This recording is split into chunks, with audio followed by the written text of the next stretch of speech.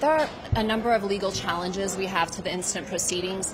This morning, we filed in this court a motion to dismiss the indictment for violation of the double jeopardy clause. We also this morning filed a separate motion for a supervisory order and a request for a stay in the Chicago, Illinois Supreme Court challenging the authority to appoint a special prosecutor in the first place. So Judge Toomin's June 21st order in which he granted a special prosecutor was flawed. It was contrary to the statute. Um, the statute basically only allows the judge to appoint a special prosecutor under two very discrete situations and Judge Toomin found that neither of those applied.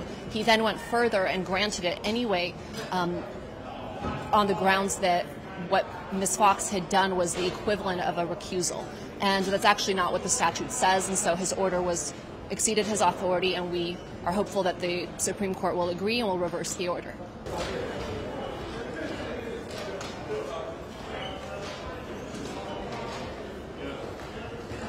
So one of the protections that the double jeopardy clause provides is not to punish somebody twice for the same offense.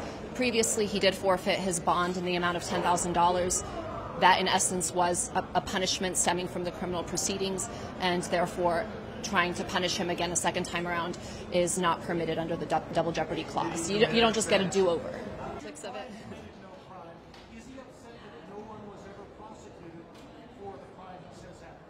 Um, he's obviously fr- frustrated to be dragged through this process again, but he has tremendous support. He was surrounded by his family today, who flew in from California to be here with him today, and he's he's strong, he's resilient, he'll get through this, but it's frustrating.